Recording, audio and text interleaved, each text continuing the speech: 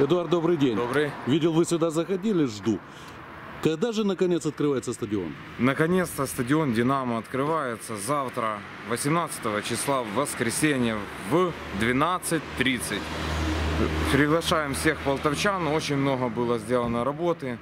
Членами команды «Ридный Миста» Александром Николаевичем Кудацким, Александром Васильевичем Удовиченко. Поэтому все-таки праздник будет. Э, Будут э, торжественные мероприятия с открытия.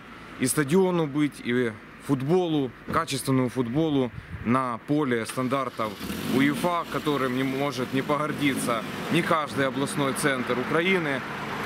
Будет. Завтра всех полтавчан приглашаем. Спасибо.